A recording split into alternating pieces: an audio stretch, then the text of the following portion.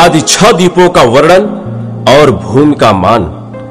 लोमहर्षण जी कहते हैं, जिस प्रकार जम्बू द्वीप खारे पानी के समुद्र से घिरा हुआ है, उसी प्रकार उस समुद्र को भी घेर कर प्लक्ष द्वीप स्थित है। जम्बू द्वीप का विस्तार एक लाख योजन बताया गया है। प्लक्ष द्वीप का विस्तार उससे दुगना है। प्लक्ष द्वीप के स्वामी राजा मेधातिथ के सात पुत्र हुए। उनमें ज्येष्ठ पुत्र का नाम शांतमय है। उससे छोटे क्रमशः शिशिर, सुखोदय, आनंद, शिव, क्षेमक तथा ध्रुव हैं। ये सभी प्लक्ष द्वीप के राजा हुए। इन्हीं के नाम पर उस द्वीप के सात वर्ष हैं। उनकी सीमा बनाने वाले सात ही वर्ष पर्वत हैं। उनके नाम बतलाता हूँ, सुनो।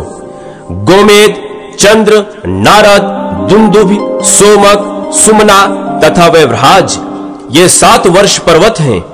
इन रमणीय पर्वतों पर देवताओं और गंधर्वों सहित वहाँ की प्रजा निवास करती है। उन सब में पवित्र जनपद है, वीर पुरुष हैं। वहाँ किसी की मृत्यु नहीं होती, मानसिक चिंताएँ तथा व्याधियाँ भी नहीं सताती। वहाँ हर समय सुख मिलता है। प्लक्ष द्वीप के वर्षों में सात ही ऐसी नदियाँ हैं, जो समुद्र में जा मिलती हैं। अनुतप्ता, शिखा, विप्राशा, त्रिदिवा, क्रम, अमृता तथा सुकृता। ये सात वहाँ की नदियाँ हैं। इस प्रकार प्लक्ष द्वीप के प्रधान प्रधान पर्वतों और नदियों का वर्णन किया गया है। छोटी छोटी नदियाँ और छोटे छोटे पहाड़ तो वहाँ हज़ारों हैं। उन वर्षों में युगों की व्यवस्था नहीं है। वहाँ सदा ही त्रेता युग के समान समय रहता है। प्लक्ष द्वीप से लेकर शाख द्वीप तक के लोग पाँच हज़ार वर्षो तक निरोग जीवन व्यतीत करते हैं। उन द्वीपों में वर्णाश्रम विभाग पूर्वक चार प्रकार का धर्म है। तथा वहाँ चार ही वर्ण हैं, जिनके नाम इस प्रकार हैं। आर्यक, कुरु, विविश्व तथा भावी। ये क्रमशः ब्राह्मण, क्षत्रिय, वैश्य तथा शूद्र कोट के हैं। उस द्वीप के मध्य भाग में प्लक्ष नाम का बहुत विशाल वृक्ष है, जो जम्बू द्वीप में स्थित वृक्ष के ही बराबर है। उसी के नाम पर उस द्वीप का प्लक्ष द्वीप नाम रखा गया है। प्लक्ष द्वीप में आर्यक, आदि वर्णों के लोग जगत तृष्टा सर्वेश्वर भगवान श्री हरि का चंद्रमा के रूप में यजन करते हैं। प्लक्ष द्वीप अपने ही बराबर विस्तार वाले मंडलाकार इक्षुरस के समुद्र से घिरा हुआ है। अब शालमल द्वीप का वर्णन सुनो। शालमल द्वीप के स्वामी वीर वपुष्मान हैं। उनके सात पुत्र हैं और उन्हीं के नाम पर वहाँ सात वर्ष स्थित हैं, जिनके नाम इस प्रकार हैं। श्वेत, हरित, जीमुत, रोहित, वैद्युत, मानस तथा सुप्रभ इक्षुरस का जो समुद्र बताया गया है वो अपने दुगने विस्तार वाले शालमल द्वीप के द्वारा सब ओर से घिरा हुआ है। वहाँ भी सात ही वर्ष पर्वत हैं, जहाँ रत्नों की खाने हैं, नदियाँ भी सात ही हैं। पहले पर्वतों के नाम सुनो। कुमुद, उन्नत, वलाहक, द्रोण, कंक, महिष तथा पर्वत श्रेष्ठ, ककुदान, ये सात वर्ष पर्वत हैं। इनमें द्रोण पर्वत पर कितनी ही महाऔषधियाँ हैं। नदियों के नाम इस प्रकार हैं। श्रोणी, तोया, वितृष्णा, चंद्रा, शुक्रा, विमोचनी तथा निवृत्ति। वहाँ श्वेत आदि सात वर्ष हैं, जिनमें चारों वर्णों के लोग निवास करते हैं। शालमल द्वीप में कपिल, अरुण, पीत तथा कृष्ण वर्ण के लोग होते हैं, जो क्रमशः ब्राह्मण, क्षत्रिय, वैश्य और शूद्र माने जाते हैं। ये सब लोग यज्ञ परायण हो, सबकी आत्मा अविनाशी, यो यज्ञ में स्थित भगवान विष्णु की वायु रूप में आराधना करते हैं। इस अत्यंत मनोहर द्वीप में देवताओं का सानिध्य बना रहता है। वहाँ शालमली नाम का महान वृक्ष है, जो उस द्वीप के नामकरण का कारण बना है। यह द्वीप अपने समान विस्तार वाले सुरा के समुद्र से घिरा हुआ है, और वह सुरा का समुद्र शालमल द्वीप से दुगने विस्तार वाले कुशी द्वीप द्वारा सब ओर से आवृत है। कुश द्वीप में ज्योतिषमान राजा हैं, अब उनके पुत्रों के नाम बतलाए जाते हैं। सुनो, उद्रिभद, वेणुमान, सूरत, रंधन, धृत, प्रभाकर और कपिल, इन्हीं के नामों पर वहाँ के सात वर्ष प्रसिद्ध हैं। वहाँ मनुष्यों के साथ साथ दैत्य, दानव, देवता, गंधर्व, यक्ष और किन्नर आदि भी निवास करते हैं। वहाँ के मनुष्यों में भी चार वर्ण हैं, जो अपने अपने कर्तव्य के पालन में तत्पर रहते हैं। उन वर्णों के नाम इस प्रकार हैं। दमी, सुष्मी, स्नेह तथा मंदेह। ये क्रमशः ब्राह्मण, क्षत्रिय, वैश्य तथा शुद्र की श्रेणी में बतलाए गए हैं। वह शास्त्रोक्त कर्मों का ठीक ठीक पालन करते और अपने अधिकार के आरंभक कर्मों का क्षय होने के लिए कुश द्वीप में ब्रह्मा रूपी भगवान जनार्दन का यजन करते हैं। विद्रुम हेमशैल द्युतमान पुष्टिमान, कुशेशय, हरि और मंद्राचल। ये सात उस द्वीप के वर्ष पर्वत हैं। नदियाँ भी सात ही हैं, जिनके नाम इस प्रकार हैं। धूत पापा, शिवा, पवित्रा, सम्मत, विद्युत, अंभस तथा मही। ये सब पापों का अपहरण करने वाली नदियाँ हैं। इनके अतिरिक्त भी वहाँ बहुत सी छोटी छोटी नदियाँ और पर्वत हैं। कुश द्वीप में कुशों का बहुत बड़ा वन है, अतः उसी के नाम पर उस द्वीप की प्रसिद्धि हुई। वह द्वीप अपने ही बराबर विस्तार वाले घी के समुद्र से घिरा हुआ है। मुनिवरों, उपरयुक्त घी का समुद्र क्रौंच द्वीप से घिरा हुआ है। उसका विस्तार कुश द्वीप से दुगना है। क्रौंच द्वीप के राजा द्युतिमान है, महात्मा द्युतिमान के सात पुत्र हैं।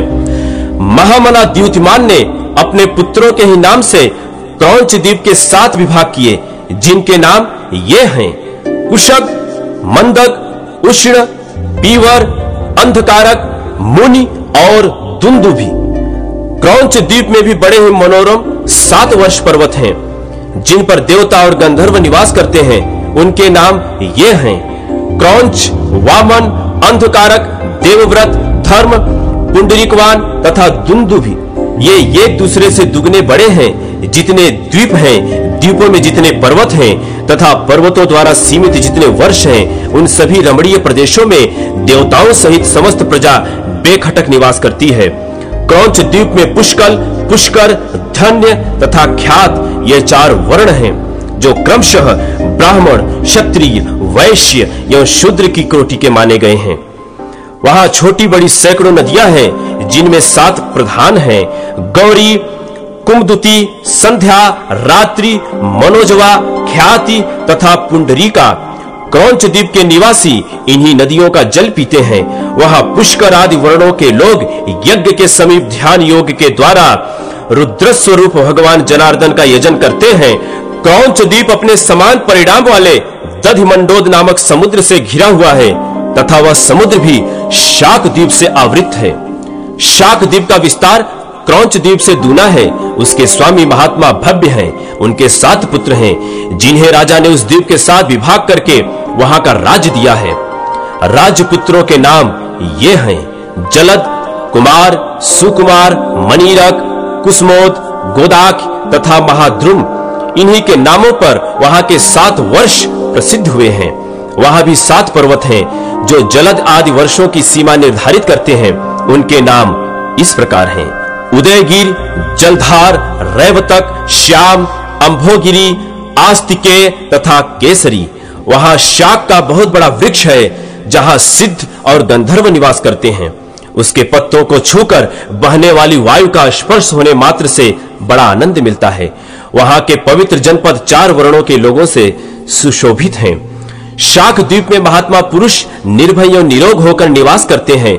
वहाँ की नदियाँ भी परम पवित्र तथा सब पापों का नाश करने वाली हैं। उनके नाम ये हैं। सुकुमारी, कुमारी, नलिनी, रेणुका, इक्ष, धेनुका तथा गभस्ती। इनके अतिरिक्त वहाँ छोटी छोटी हज़ारों नदियाँ हैं।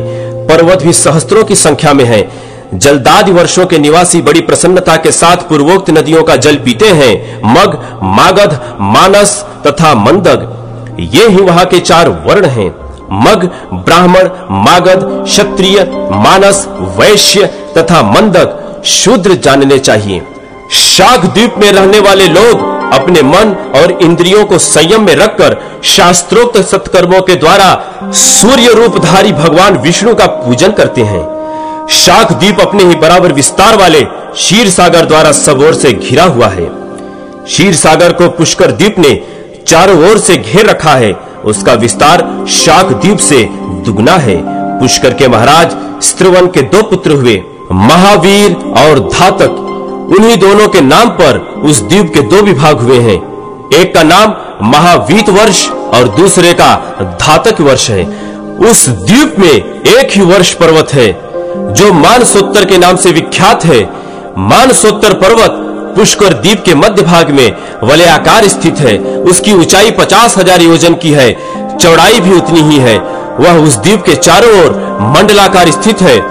वह पुष्कर द्वीप को बीच से चीरता हुआ सा खड़ा है।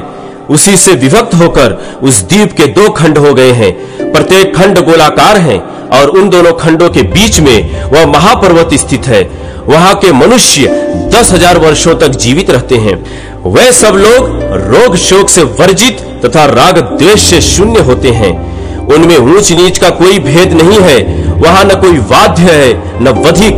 वहाँ के लोग में ईर्ष्या, असूया, भय, रोष, दोष और लोभ आदि नहीं होते। महावीत वर्ष मानसोत्तर पर्वत के बाहर है और धातिक वर्ष भीतर।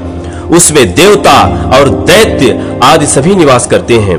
पुष्कर द्वीप में सत्य और असत्य नहीं है। उसके दोनों खंडों में न कोई नदी है और न दूसरा पर्वत, वहाँ के मनुष्य देवताओं के समान रूप और वेश वाले होते हैं। उन दोनों वर्षों में वर्ण और आश्रम का आचार नहीं है। वहाँ किसी के धर्म का अपहरण नहीं होता। वेद त्रैवार्ता, वाणिज्य आदि, दंडनीत तथा शुश्रूषा आदि का व्यवहार भी नहीं देखा जाता। अतः उक्त दोनों वर्ष भूमंडल के उत्तम वर्ग स्वर्ग समझे जाते हैं। वहाँ का प्रत्येक समय सबके लिए सुखद होता है। किसी को जरा अवस्था या रोग का कष्ट नहीं होता। पुष्कर द्वीप में एक बरगद का विशाल वृक्ष है, जो ब्रह्मा जी का उत्तम स्थान माना गया है। उसके नीचे देवता और असुरों से पूजित भगवान ब्रह्मा निवास करते हैं। पुष्कर द्वीप अपने समान विस्तार वाले मीठे जल के समुद्र से घिरा है। इस प्रकार सातों द्वीप सात समुद्रों से आवृत हैं। एक द्वीप और समुद्र का विस्तार समान माना गया है। उसकी अपेक्षा दूसरे समुद्र और द्वीप दुगने बड़े हैं। सब समुद्रों में सदा समान जल रहता है। उसमें कभी न्यूनता या अधिकता नहीं होती। जैसे बटलोई में रखा हुआ जल आग का संयोग होने से उफन उठता है। उसी प्रकार चंद्रमा के वृद्ध होने पर समुद्र के जल में ज्वार आता है। उसका जल बढ़ता है और फिर घट जाता है। तथा उसमें न्यूनता या अधिकता नहीं होती। शुक्ल और कृष्ण पक्ष में चंद्रमा के उदय और अस्त होने पर समुद्र के जल का उत्थान 1500 अंगुल ऊँचे तक देखा गया है। उत्थान के बाद जल पुनः उतार में आ जाता है। पुष्कर द्वीप में सबके लिए भोजन स्वतः उपस्थित हो जाता है। वहाँ की समस्त प्रजा सदा शनरस युक्त भोजन करती है। स्वादिष्ट जल वाले समुद्र के दोनों तटों पर लोगों की स्थिति देखी जा सकती है। उसके आगे की भूमि स्वर्णमयी है, जिसका विस्तार पुष्कर द्वीप से दुगना है। वहाँ किसी भी जीव जंतु का निवास नहीं है। उसके आगे लोकालोक पर्वत है, जो दस हज़ार योजन तक फैला हुआ है। उसकी ऊंचाई भी उतनी योजनों की है। लोकालोक पर्वत के बाद अंधकार है, जो उस पर्वत को सब ओर से आच्छादित करके स्थित है। अंधकार भी अंडकटाह के द्वारा सब ओर से घिरा है। इस प्रकार अंडकटाह द्वीप तथा पर्वतों सहित इस संपूर्ण पृथ्वी का विस्तार 50 करोड़ योजन है। यह भूमि सबका धारण पोषण करने वाली है। इसमें सब भूतों की अपेक्षा अधिक गुण है। यह संपूर्ण जगत की आधार भूता है।